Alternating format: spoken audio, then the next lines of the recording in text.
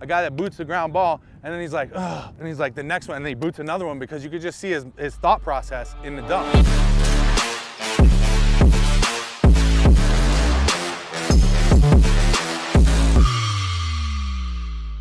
What's going on guys? Coach Madden, YouGoProBaseball.com here again with the man, Nick Shaw, former Brewers middle infielder and creator of the Baseball Box. If you don't know what the Baseball Box is, it's a monthly subscription box delivered straight to your doorstep. You can check it out at the link below. Find out more information.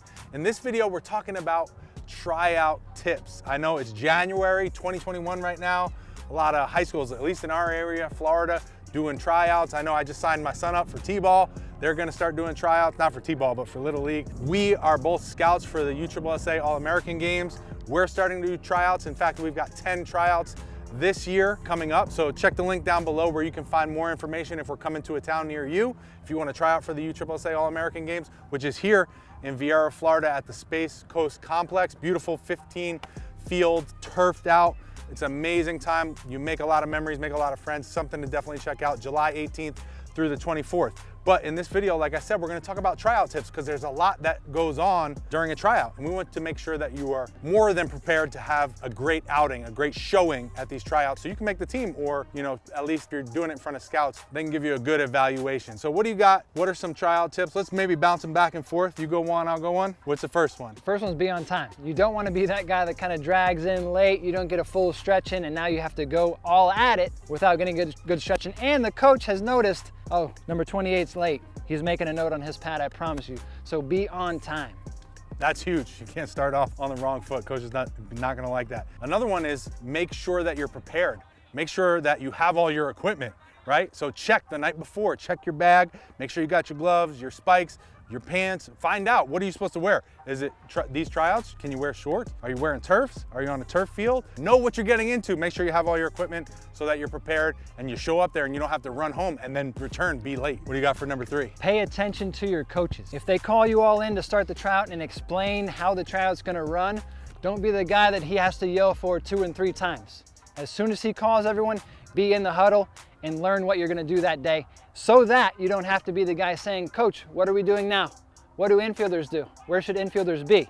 for example. So pay attention to your coaches when they run down the schedule of the tryout. That's a great one. Nothing more annoying as a coach putting on a, a tryout than having questions that you've already answered beforehand asked to you. I'm gonna do two in a row, which are kind of similar, and it's about eating. Make sure you eat right the night before, and make sure you eat right before the tryout, the day, the morning of, or if it's at night, that at lunchtime. You don't wanna eat a huge, huge meal right before your tryout. I don't know if any of you guys have done that and tried to play a sport, but it doesn't feel good. You're gonna be bloated, you're gonna feel like you're gonna throw up, especially if you have some running to do. So don't do that. Make sure you're eating what you know your body can handle. Make sure you give yourself enough energy to have a good performance out there, but also not so much that you're sluggish and slowed down. Now that you said running, we all know the run that we all hate to do, most of us, the 60 yard dash. You have to prepare for that beforehand. You can't go out and run a couple of sprints the day before or right before you run it and say, okay, I've trained for this now. So prepare to run, prepare for the 60. It's coming, whether you want, you want it or not, you're running the 60. So prepare and make sure you're stretched and loose for that 60. And prepare a long time before that. You know, if you know you got a trial coming in in January, we're in January now, you know, maybe in November, you, you know, hey, I need to get my 60 better this year. Maybe you start working on it in November and not a week before your tryout, right? I remember when I used to train a lot of guys, the week before the tryout, I used to get blown up on the phone. Hey, I need to get in for a lesson. Like, no, your tryout's next week. What do you think is gonna happen in a week? So, you know, prepare a long time beforehand, which brings me to my tip, and this is more closely to the tryout, sleep. Make sure you get some good sleep the night before. Now, if you know you're an anxious person and you're gonna be awake thinking about it, do your bedtime routine earlier that night. Try to put yourself to sleep. I know on YouTube, there's a few different channels that have like guided sleep meditation. Sometimes when I can't sleep, I'll throw on one of those and just listen to the person talking and take you through a guided sleep meditation. It helps me go to sleep sometimes. So just know what type of sleeper you are and give yourself enough time to that you get some good sleep. If you got to try out at nine o'clock in the morning the next day and you stay up till 12, you're probably not gonna fall asleep till one or so and then you gotta wake up at seven to make sure you're ready and, and, on time. Just make sure you got enough time to get some good sleep because that's gonna make sure that you feel refreshed and you're ready to go. The next one is don't be nervous. See a lot of guys out there and I was one of those guys who tryout day came and I was as nervous as they came. okay? We have to relax. When we're nervous, everything tightens up and I don't play as well. Frankly, I need to be loose out there, have some fun, and trust your training. Getting nervous isn't gonna help you do any better than your preparation has already brought you to okay? You've already done the hard work. All you're doing at a tryout is just showing what you've done during your work, okay? So don't be nervous. Go out there, show what you got, stay loose, and have some fun. Another one, back to running, is run everywhere on the field. Hustle. When the coach says, hey, everybody out to right field, run out there, be the first one. Yes, coach, boom, take off, sprinting. Nothing more that I like better than seeing a guy who does that after I say, everyone down the right field line. Yes, sir, coach, boom, taking off. I'm like, ooh, I like that guy. You know, it's the little things. Make sure you're hustling all day around the field as fast as you can whenever the coach tells you to do something. Now getting into the tryout itself as an infielder, a couple things that we should be doing is using our feet. Don't catch the ball flat-footed, okay? If there's ever a time to overdo it on the footwork, make it happen in the tryout. Get to the right of the ball, get through the ball with some momentum, and really rip that throw. Let it go, okay? During the five ground ball routine, okay, the last one's probably a slow roller, you need to let at least two of those really go. All right, catch it, take that extra crow hop, load the legs, and let it go. On one of them, show off your backhand. I know you can probably easily get around or get in front of that backhand play that they're gonna hit to your right, but again, show off your fundamentals, whether it's working through the backhand or getting behind it, show off what you got. Nick and I just made a video about how to properly do the backhand and some backhand drills that you could work on beforehand to prepare for your tryout. So if you wanna watch that one, I'll leave the link down below. Another tip for the pitchers I'm gonna speak on because I was a pitcher is making sure that you're fully loose, okay? So you're only gonna get, at least in our trials in the USSSA All-American games, the pitchers get 10 pitches from the mound. So you wanna make sure you're fully loose before you get up there. You wanna have thrown at least an inning, you know, an inning before you get up on the mound. So you're fully hot. You know, you don't wanna get up there and be like 80% loose and then get up there and try to light up the radar gun, right? Make sure you're getting loose. So know what you have to do, what your body needs to be fully hot so that when you get on the mound, you can really execute and let that ball fly.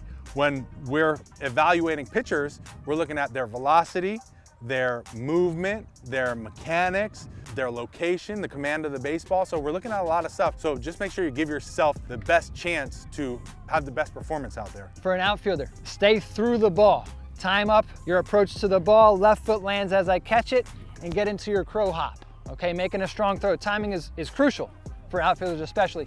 Also, getting behind the baseball if it's a fly ball and working through as that left toe lands, working through the baseball and making a strong throw to the plate or third base, wherever you may be throwing it to. For outfielders and for infielders, as scouts, we're looking at your fielding ability, your throwing accuracy, your throwing velocity, and really just your, your athleticism, right? How you're moving and going about all of that. So just try to be an athlete, be quick, be fast, good footwork like Nick was talking about, and have good, firm, accurate throws to where you're trying to throw the ball. For catchers, we're looking at your footwork, your receiving, your blocking, and then we're getting your pop times down to second base. You wanna make sure, at least the way we do our tryouts, is we're mixing in good throws with bad throws that you have to block. So don't cheat, right? I see guys when they try to cheat, they'll try to cheat and get a good throw down a second and then it's a ball in the dirt and they end up missing that ball. Or vice versa, they go to block a ball and it's right to them, right? So don't cheat, play it for real and just be ready to go. Obviously, the quicker you can catch that ball, get it out of your hand and get it down to second base in an accurate manner, that's uh, obviously better. But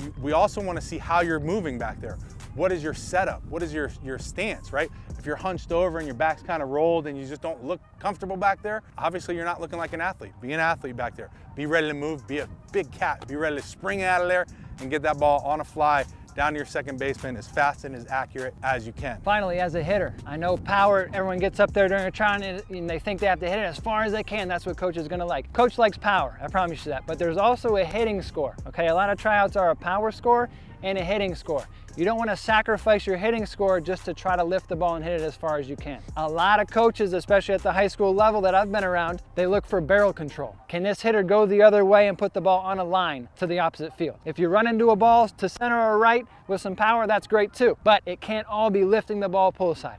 Show that you can control your barrel and hit the ball the other way as well. The last thing I'm gonna leave you guys with is be confident. Have the confidence when you go into the tryout that you're gonna do a great job. If you're going into the tryout and you're thinking about, oh, I hope I don't make this, I hope I don't make a mistake in the field. I hope I don't swing and miss. I hope I don't do that. You're playing defensively and you're not gonna be able to bring your full ability to, to light. But if you go in confident and you say, you know what, I'm gonna kill this tryout. I'm gonna, I'm gonna, I'm gonna get all these balls, I'm gonna make good throws. And even if you do mess up, it's okay. You know, get, get the next one. If you boot a ground ball, be ready for the next one. The one thing I hate seeing out there at some of the tryouts is a guy that boots the ground ball and then he's like, Ugh, and he's like the next one, and then he boots another one because you could just see his, his thought process in the dump, right? So be confident, have the confidence, exude the confidence, know that you're gonna be successful when you're out there, and that's really gonna help you through the process, okay? Being confident is huge. You got anything else, or are we good with that? I think those are some great tips. There you go, tryout tips for you guys, whether you're trying out for youth baseball, trying out for the USSSA All-American Games, again, links down below for more information. If you're trying out for your high school, college team, whatever it is, these are great tips that you can implement so that you have a better chance of making the team. I hope you guys like this video. Nick has got his brand new own YouTube channel, so go over his, his channel and make sure you subscribe. Subscribe to You Go Pro Baseball, of course. Check out thebaseballbox.com. All the information down in the description. If you guys got any questions or comments, leave them in the comment section below. We'll hop down there, answer those for you, and we'll hope to see you in the next video. Thanks, guys.